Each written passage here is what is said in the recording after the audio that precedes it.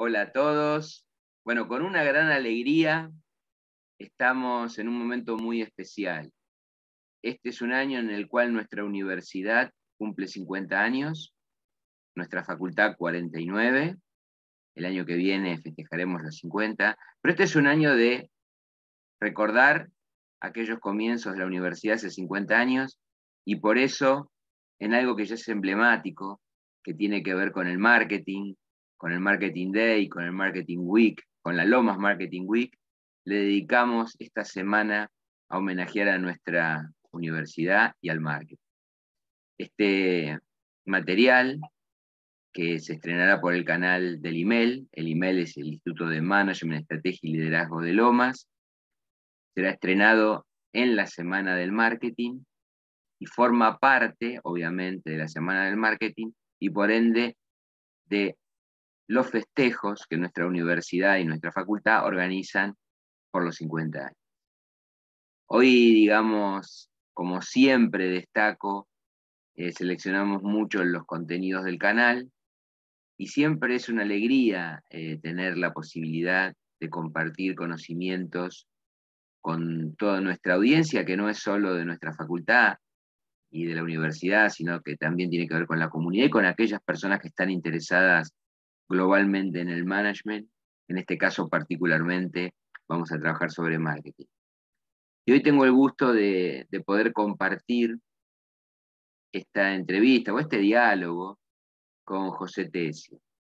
Después le voy a pedir a José que muy brevemente, porque esto va a ser un ping-pong de preguntas y respuestas, eh, nos diga quién es José, porque me gusta que cada persona se pueda presentar. Pero yo, digamos, lo primero que me sale, mi top of mind sobre José, alumno brillante. José, eh, he tenido el placer y el honor de compartir aula con él en distintas instancias. Lo conocí obviamente primero como alumno de marketing, luego como alumno de dirección, brillante en ambas ocasiones. En aquel momento José todavía no estaba totalmente perfilado al marketing, aunque le gustaba, y lo invitábamos a formar parte de la cátedra de dirección general. Obviamente fue un placer ya compartir esas instancias dentro de la cátedra con José. Sí, José enseguida ya empezó a tener su gusto por el marketing y ese gusto por el marketing lo llevó a, obviamente, a su trabajo en marketing y a su formación en marketing, pulir lo que creo que Lomas de alguna manera le mostró en un primer camino, tanto en marketing como en dirección, pero fundamentalmente en marketing, en este caso en la materia marketing. Y a partir de allí, bueno, dado sus compromisos laborales, no, no pudo continuar en, nuestra cátedra de dirección, lamentamos mucho eso, pero me puse contento por el progreso que, José venía desarrollando.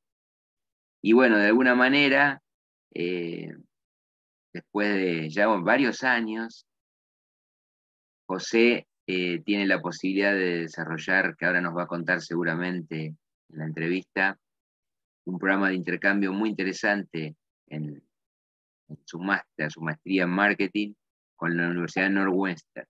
Así que bueno, vamos a conversar mucho sobre eso y fundamentalmente para darte la bienvenida, José, eh, me gustaría que muy brevemente le cuentes a quien no te conoce quién es José Tess.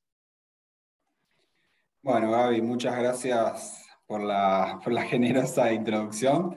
Eh, también te, bueno, te agradezco mucho que, me hayas convocado para, para, que bueno, charlemos hoy un poco y, que esto quede también en el canal para, para, para, compartirlo con toda la comunidad de Lomas.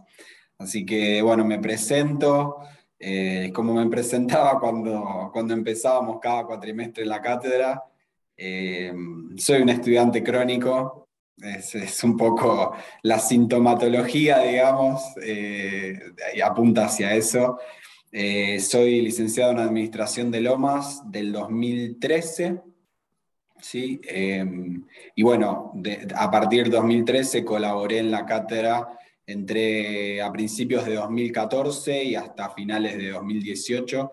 Así que fueron más de 10 años eh, en Lomas, con lo cual, bueno, eh, si bien después seguí, seguí formándome, hice un posgrado en 2016, ahora bueno, eh, ya con la maestría casi, la maestría de marketing y comunicación casi finalizada, siempre, siempre, bueno, tengo un, sentido de pertenencia eh, especial con, Lomas, por, bueno, por todo el tiempo que pasamos y también por, por todas las experiencias que compartimos.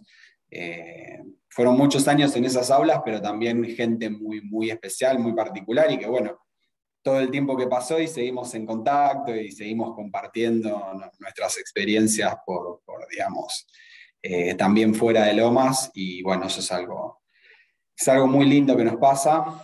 Y, bueno, obviamente también Lomas fue, fue el inicio un poco de, todo lo que pasó después, ¿no? O sea, fue ese primer gran peldaño que, bueno, que te va posicionando para tus primeros trabajos y, también que te, por ahí a mí que me dio la, eh, un poco la posibilidad de, ambicionar otras cosas, ¿no? De, decir, bueno, uno termina la carrera, uno dice, terminé mi carrera, ¿no? Licenciado en administración. Pero en realidad lo, que terminaste es una primera etapa de formación y, después lo que te pasa es que te das cuenta que cuanto más ves, más parece que te falta, ¿no? O sea, más, eh, más cosas querés, querés ir a buscar y, bueno, un poco ese, apetito y, sobre todo orientado más hacia, hacia, el marketing y hacia lo comercial, también un poco, bueno, me lo marcó el, paso por, por las cátedras de marketing y dirección, así que bueno, acá estamos. Después, nada, en lo, laboral siempre trabajé en áreas, en áreas comerciales y de, y de marketing. Eh, los últimos cinco años en una, en una multinacional automotriz, también em, empecé más en marketing los primeros cuatro años y ahora el último año estoy en una, posición un poco más de, ventas, si se quiere. Pero bueno, también es un, es un, paso, eh, la, pata de ventas también eh, está, bueno vivirla eh, con la proyección de, en algún momento también aplicar todo esto de vuelta al marketing. Así que bueno, estamos, estamos un poco en eso.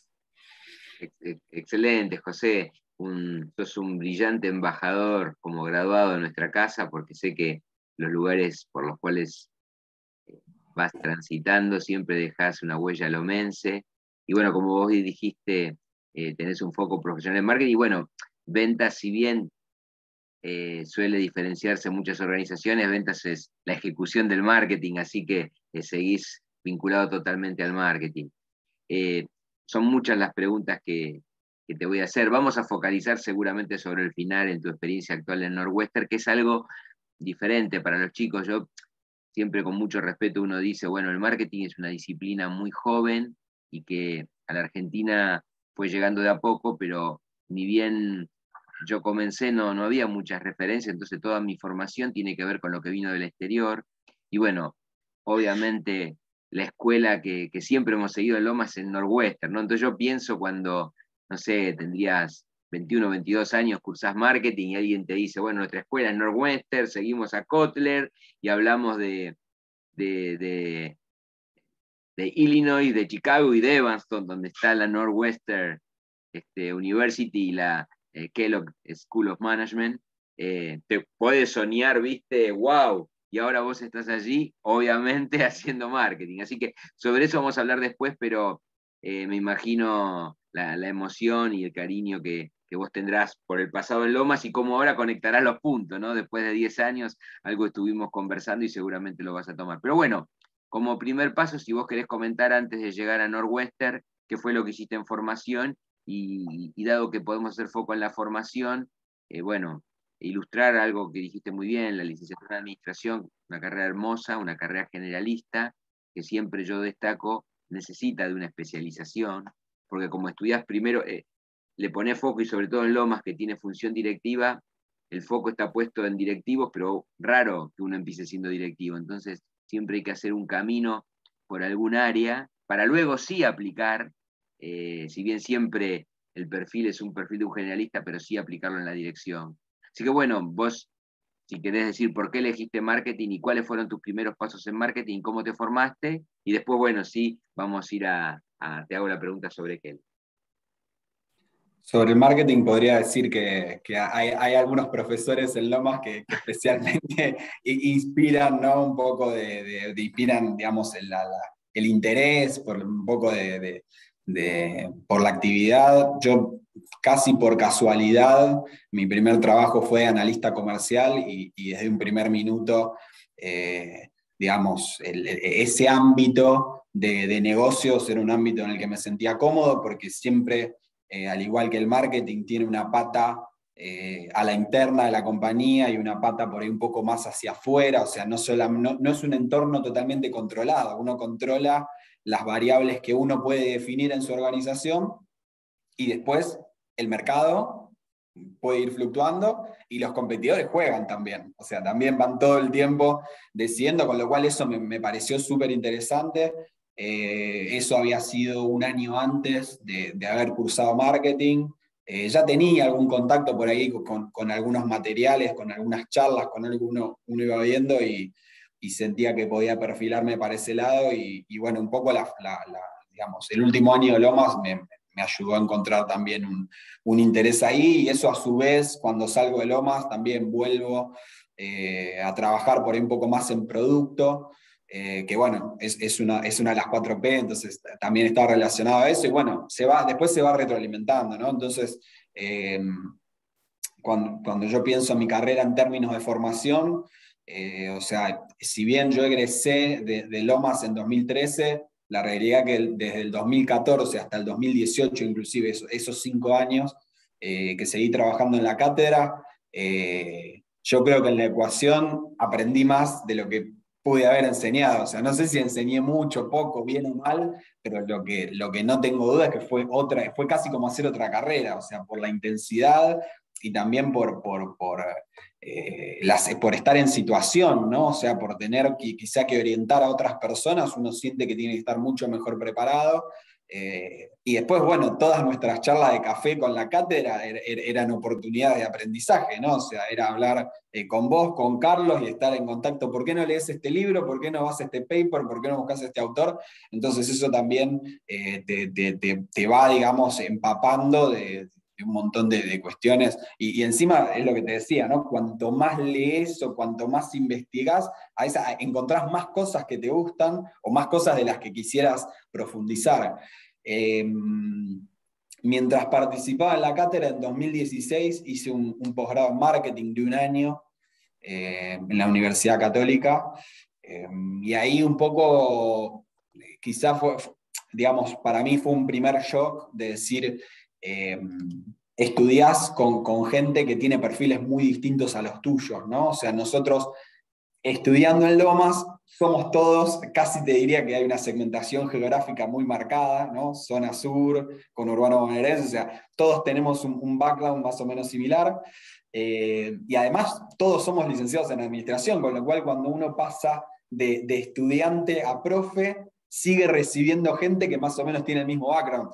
Y eso en, algún punto genera como un pensamiento un poco de group, de group thinking, ¿no? O sea, de, pensamiento en grupo, como más o menos vemos las, las mismas realidades, encontramos soluciones similares a los mismos problemas.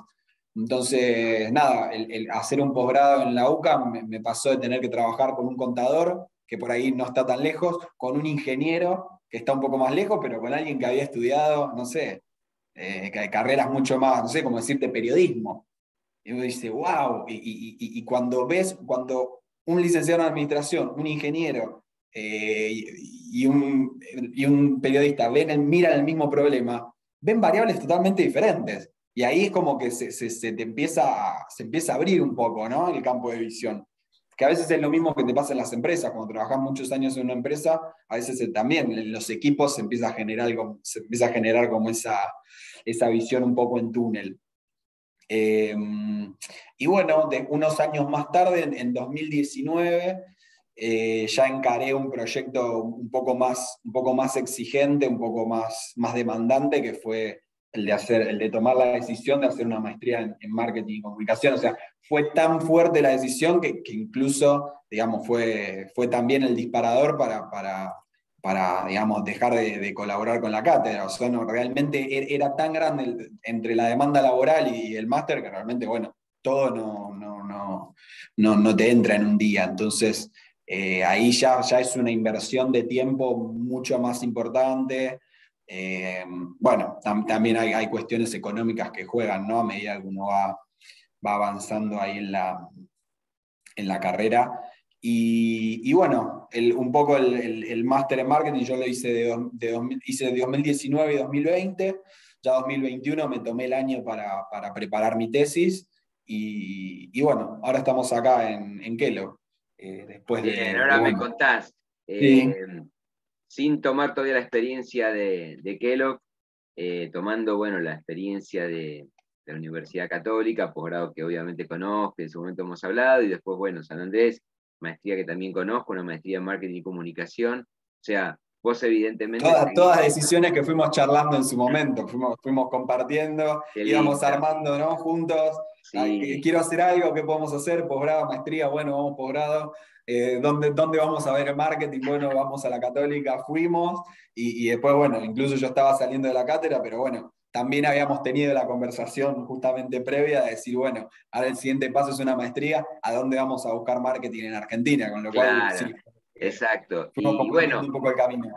Eh, indudablemente que no, son comparables las experiencias de las maestrías y posgrado con el grado, por distintos motivos. Uno de ellos lo señalaste vos muy bien, la, diversidad que hay en un aula. Mm. Eh, no diversidad humana, sino diversidad profesional, si querés, pero también diversidad humana, porque obviamente cuando tenés este otro ámbito geográfico y de carreras, la, diversidad no es solo profesional, y eso ya es enriquecedor, además que uno lo hace cuando ya tiene más experiencia profesional, pero salvando esas distancias que son lógicas, eh, ¿cómo viste esa formación que te dejó Lomas en general y en particular marketing y dirección, ¿no? Em, ¿Te sirvió? ¿Cómo fue? ¿Te sentiste con una eh, gran base? ¿Te sentiste, uy, bueno? No, a ver, eh, eh, estaba, estaba elaborando. Em, yo creo que hay, un punto que, por ahí es diferencial, sobre todo que, que, que trabajás en el último año de Lomas, que tiene que ver con, con arremangarse y, poner las manos en la masa, ¿no? que tiene que ver con no solamente o sea, estudiar una teoría y recitarla en un examen, sino hacer ese, paso, eh, ir, un paso más allá, resolver un caso que, que, bien podría ser un caso real, y que si bien los casos siempre, están siempre son simplificaciones de la realidad, pero a uno ya lo ponen en situación de tener, de decir, bueno, ¿y vos qué harías? ¿Y vos qué decisión tomarías? Entonces, eh, me parece que, bueno, todas las escuelas de negocio del mundo eh, usan el estudio de casos y, tener un contacto con el estudio de casos en grado es una ventaja porque cuando llegas al posgrado eh, ya conoces la metodología, o sea, en general entendés cómo resolver un caso. Y después toda la parte práctica de, tener que presentar, prácticamente, creo que en marketing y, y dirección, no sé, decirte el creo que por lo menos el 40% de las clases te, tenés que parar enfrente del, curso y, defender tu trabajo.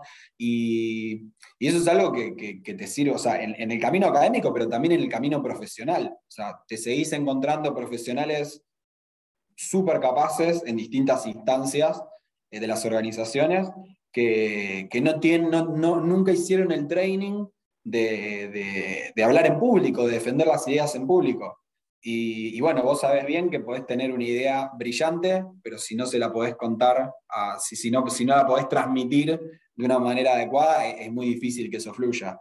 Y no sé, no me quiero adelantar, pero digo, eh, mismo acá en Kellogg hay muchas materias que se tratan de eso. Eh, cómo, vender, cómo vender tu perfil y tus ideas. Eh, cómo hacer presentaciones efectivas con un componente práctico altísimo, altísimo. Es, son 10 sesiones, son 10 sesiones que te paras enfrente de la clase y, que, tienes que hacer ese ejercicio.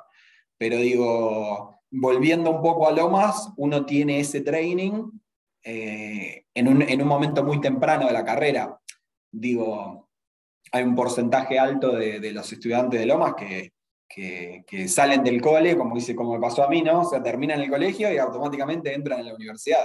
Entonces tienen 22, 23, 24 años y de repente tienen esa, exposición de tener que presentar, eh, que muchos, por supuesto, las primeras veces lo, padecemos, ¿no? Hasta físicamente, o sea, uno está estresado, está nervioso, pero lo bueno de eso es que cuando, cuando le das suficiente repetición, eh, ya, o sea, nosotros siempre, siempre lo charlamos al final de los cuatrimestres, la evolución de ciertos perfiles solamente en cuatro meses de hacer, de, repetición, ¿no? de, ejecutar, y, la persona se va soltando, se va sintiendo más cómoda, y, eso creo que es un diferencial, eso te diferencia cuando, cuando vas a, digamos, cuando entras en un posgrado, una maestría, presentar tu trabajo es, es moneda corriente. Estamos hablando de, de negocio, ¿no? Digo, por ahí en otras disciplinas no se da.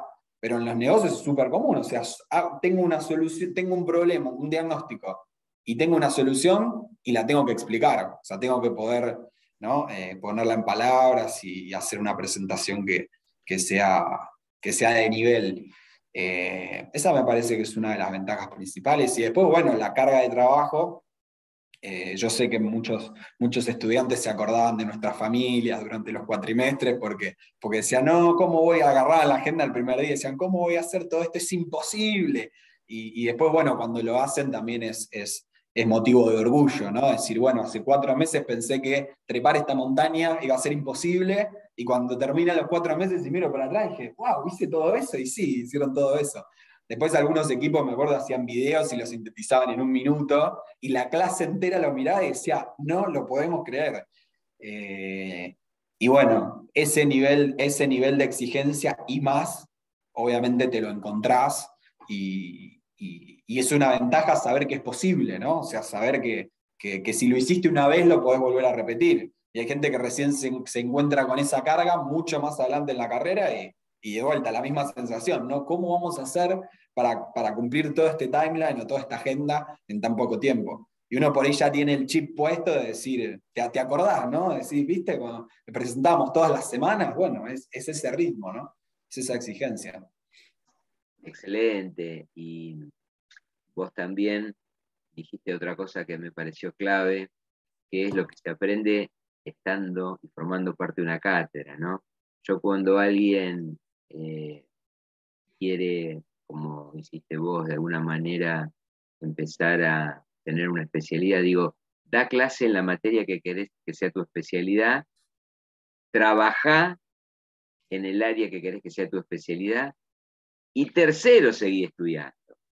Bueno, vos comenzaste por las dos primeras, trabajabas y estabas en cátedras vinculadas a lo que te gusta, y bueno, y seguiste estudiando, o sea que hiciste las tres. Y como consecuencia de esto, bueno, cumpliste tu posgrado, primero te graduaste en licenciado de administración, participaste en la cátedra de dirección y siempre también muy vinculado al marketing, trabajos en marketing, el posgrado en la UCA, la maestría en marketing y comunicación en San Andrés. Y ahora, comentanos cómo llegaste a Northwestern y qué estás haciendo en Northwestern. En eh, Kelo, digamos, para los amigos de marketing, ¿no? Sí, exacto, en Kelo. ¿Cómo llegué hasta acá? Eh, quizá, quizá el, mayor, el mayor, uno de los mayores factores de, influencia, lo, que lo que te contaba ¿no? el, otro día, eh, fue por, por, un poco el, cambio de mindset que tuvimos a partir de, la pandemia, ¿no? fue, o sea, yo nunca, nunca me hubiese imaginado cuando, en 2019, el primer día que entré a cursar eh, la maestría, que iba, que, iba a decantar en, terminar la experiencia con un intercambio internacional. la verdad, o sea, me imaginaba, digo, no, si tengo que venir todos los días a la oficina, ¿cómo me voy a ausentar tres, cuatro meses ¿no? de mis tareas? Eh, era impensado.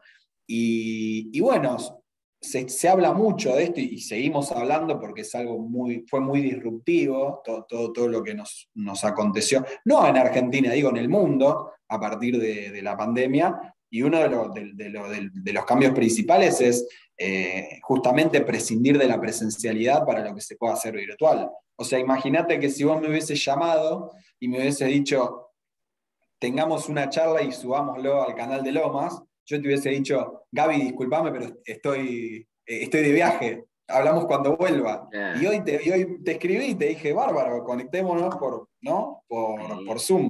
Entonces, bueno, eh, fue un poco a partir de, que las, digamos, quienes trabajamos y también las grandes organizaciones que, que digamos, lo, vieron quizá primero, de decir, podemos disociar la presencialidad de, la calidad del trabajo que hacemos, o sea, podemos hacer un trabajo igual de bueno o mejor si, si, no estamos todos los días en la oficina, eh, ahí empecé a pensar, digo, bueno, ¿cómo, cómo, ¿de qué forma podría capitalizar, ¿no? Estar trabajando desde otro lado. Y, bueno, también tuvo mucha influencia el, director de, la maestría, que varias veces no me insistía, me decía, mirá que es una oportunidad, mirá que está buenísimo, o sea, eh, por tu perfil te va a gustar mucho lo que pasa en Kelo, aprovechalo, eh, anotate, bueno, todo, todo, determinados procesos de selección, primero de, la universidad eh, en Argentina, ¿no? que, San Andrés me iba pidiendo distintos requerimientos, y una vez que, calificaba, empezar a,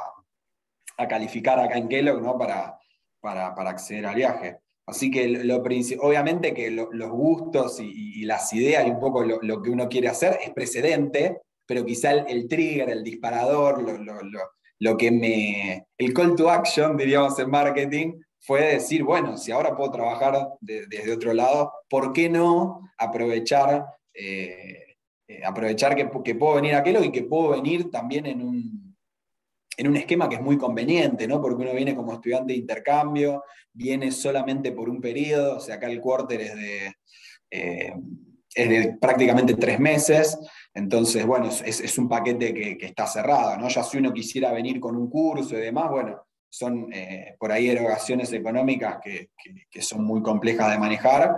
En vez de, bueno, uno como, como estudiante de intercambio viene, eh, se paga el viaje, consigue el alojamiento y después eh, todo lo que es el programa académico por un sistema de intercambio de cupos queda a disposición. Entonces realmente uno vive la experiencia de un, trimestre como si fuese un estudiante MBA de Kellogg, aunque en realidad, bueno, no, digamos, nuestra, nuestra casa de estudios está en Argentina, pero bueno, muy generosamente eh, comparte cupos de, intercambio con, con escuelas de negocios de primera línea como Esquelo. Contanos entonces un poco esto de cómo es tu experiencia en Kellogg y qué te trae de recuerdos, si alguno te trae con respecto a tus sábados de Lomas, ¿no? A mis sábados de Lomas. Eh, bueno, la, experiencia es, increíble, es, única. Eh, uno uno ve en películas cómo, cómo, cree que funciona un campus, cómo cree que funciona la vida universitaria, pero, pero bueno, es impactante, o sea, son más o menos cortes de 600, 700 personas por año eh, que dejan de, dejan de trabajar, ya sea con una licencia o ya sea por, porque renuncian, vienen y deciden dedicar, depende del programa, entre uno y dos años eh, exclusivos a capacitarse, ¿no? O sea, está esa oportunidad y, entonces, bueno, se combina una riqueza de, recursos que tiene la universidad con el recurso tiempo que tiene el estudiante. O sea, el estudiante pasa de, un trabajo full time súper exigente a tener toda esa energía a, disposición de capacitarse. Y eso genera un ecosistema que, bueno, que realmente es muy potente, ¿no? O sea, la, la, conexión entre los recursos de la facultad, el tiempo que tienen los estudiantes, la dedicación full time exclusiva que tienen los docentes. ¿Sí? hace, hace, hace que, el ecosistema realmente sea impresionante y como te comentaba, no solamente las clases, sino todo lo extracurricular que pasa semana a semana. Todos los speakers, todos los, los, directivos de primera línea que semanalmente visitan la universidad y, dan sus charlas. Em, y bueno, quizá lo más parecido a, digamos, que yo había visto hasta ese momento, digo, esa experiencia de, eh, de, que uno está en la universidad desde que se levanta hasta que casi hasta que termina el día, eh, era lo que nosotros hacíamos los sábados, ¿no? En Lomas, de decir, me levanto a la mañana bien temprano, me voy a la facultad, me paso la mañana eh, revisando el último trabajo que tengo para entregar, almorzamos todos juntos, o sea, también un poco ese sentido de comunidad que acá es muy fuerte, justamente el sentido de pertenencia, ¿no? O sea, el trabajo en el sentido de pertenencia es algo que, por lo menos por hablar con graduados de, otras carreras, quizás no es tan fuerte. El sentido de pertenencia que, se trabaja en Lomas, sobre todo en las últimas materias, es realmente muy potente. Eh, y bueno, es, un poco eso. Acá, eh, acá, acá sí es común, o sea, en, estas, en este tipo de escuelas de negocio en, Estados Unidos, es súper, o sea, el sentido de pertenencia se ha por sentado que la universidad trabaja en eso, ¿no? Eh, con lo cual, bueno, y, también este campus está, está, está en, en, una zona, veo tu foto de, de fondo ahí, el campus, un área verde, grande, abierta, al aire libre, Y, bueno, un poco estos campus también, eh, también tienen que ver con eso, ¿no? Áreas en, lugares muy urbanos, áreas muy grandes, con mucho verde, con mucho, o sea, un lugar donde, donde uno tiene ganas de estar, ¿no? Entonces creo que, creo que eso es, lo que más, eh, por ahí lo que más se asemeja a lo que, a lo que había visto hasta ahora en Argentina. Qué bueno, o sea, eh, tenés como una comparación a lo lejos, pero con Lomas, digamos, con los sábados de Lomas. Exacto.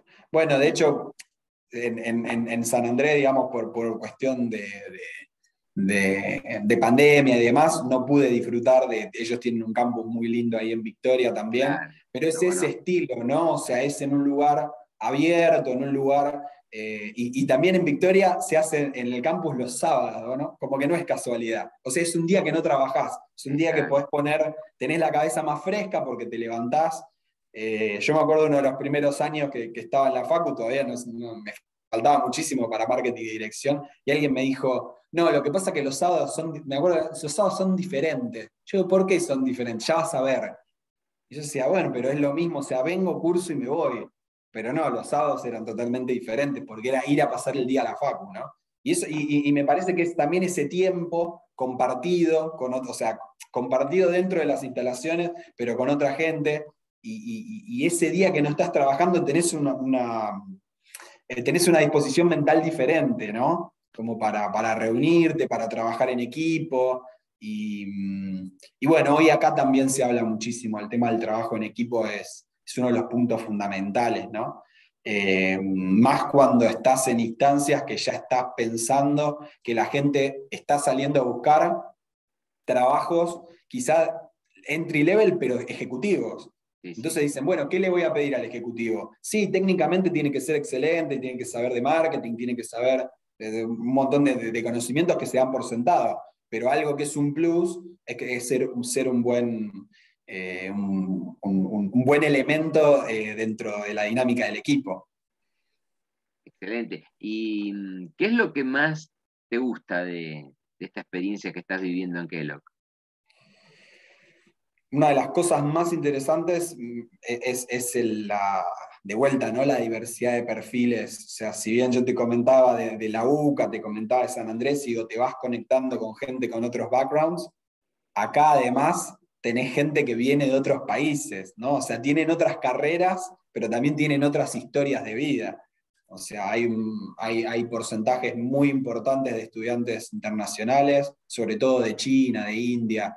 Y, bueno, uno de los primeros mensajes que, me, escribí con, con, los chicos de, con algunos de los chicos de la cátedra es, es impresionante estar en un aula, 60 personas, todos venimos de lugares diferentes, pero hablamos un idioma en común que es el, lenguaje de los negocios, el lenguaje del marketing, y, traemos un bagaje conceptual que al final del día conecta, o sea, con, experiencias de lo más diversas que te puedas imaginar, pero, pero es como que, te, digamos, bueno, aparte del, hecho de, volverme a sentar en la silla de estudiante, ¿no? ya, ya es como, genera, genera un montón de cosas, pero, pero es, un poco eso, o sea, esa, quizás es, hay temáticas que tienen están muy relacionadas con lo que vos ya sabés, pero mismo experiencias dentro del aula son, o sea, te rompen la cabeza porque vienen de lugares y de condiciones que, vos quizás hasta ese momento no, ese concepto no lo habías relacionado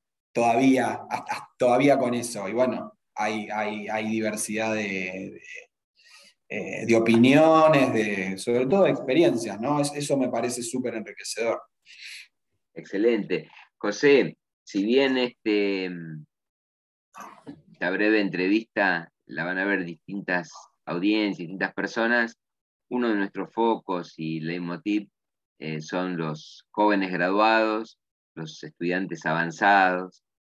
Eh, me gustaría cerrar la entrevista con un, mensaje hacia ellos de tu parte. Si en forma breve, un par de minutos, ¿qué, ¿qué mensaje nos querés dejar y le querés dejar fundamentalmente a estos estudiantes avanzados, jóvenes profesionales, graduados en general. Es, una gran responsabilidad. Em, no, mi, mensaje, digamos, es, yo por lo menos desde, es muy personal, ¿no? Pero Em, el otro día me acordaba, me acordaba de una frase que, creo, que creo que fue por allá por 2017, eh, Obama en un, discurso a, graduados de la universidad em, les decía algo así como, como que, en, digamos, en la vida todo lo que vale la pena cuesta mucho esfuerzo, ¿no?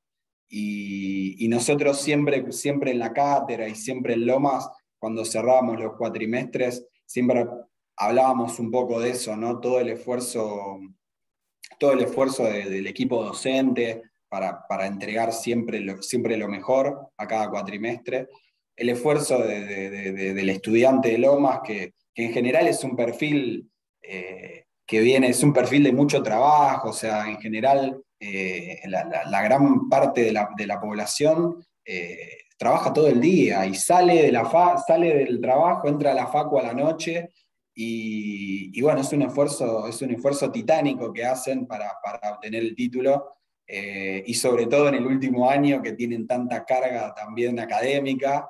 Y bueno, en, mi experiencia, eh, todo eso recontra vale la pena. Eh, a, veces, a veces el entorno da señales eh, que por ahí no son las más positivas, a veces hay, hay, digamos, mensajes cruzados de que, de que bueno, no, por, por ahí no vale tanto la pena, porque a veces te esforzás un montón y, y no llegás, pero la realidad es que si me preguntas a mí, no hay otra fórmula, ¿no? O sea, es, realmente eh, perseguir lo que uno quiere hacer eh, cuesta un montón. Eh, acá siempre, acá hay un, digamos, un, dicho muy común que te dicen, elegí a quién vas a decirle que no. Y, cuando uno hace una carrera universitaria, como, por ejemplo no, tenemos en común nosotros en Lomas, te pasa eso, ¿no? ¿A quién le vas a decir que no? Y bueno, le decís que no a los amigos, le decís que no a la familia, para, estudiar, para capacitarte, para, perseguir lo que para muchos es un sueño, eh, tener un título universitario, y eso es solo el primer paso, solamente el primer paso de un camino eh, súper largo que es la carrera profesional. O sea, el día que te recibís no vas a tener ni, cinco ofertas de trabajo sobre la mesa, ni vas a tener el mejor trabajo del mundo, por eso digo, es un puntapié inicial. Eh, más allá del conocimiento técnico, te, abre mucho la cabeza. Eso es a mí lo que me pasó con Lomas, ¿no? O sea, fue una experiencia increíble y, fue el puntapié un poco de, todo lo que me, de todo lo que me pasó después, ¿no?